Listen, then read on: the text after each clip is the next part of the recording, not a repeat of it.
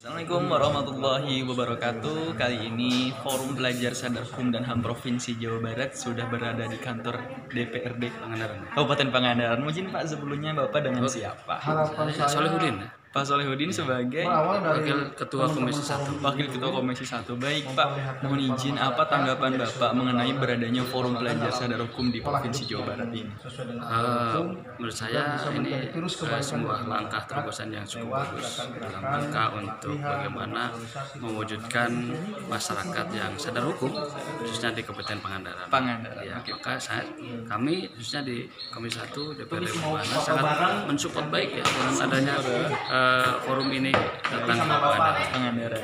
Baik Pak, untuk harapan ke depannya beradanya Forum Pelajar Sadar Hukum di Provinsi Jawa Barat ini yang nanti akan dibentuk di Kabupaten Pangandaran, khususnya Kabupaten Pangandaran. Apa nih Pak harapannya untuk di Kabupaten Pangandaran ini?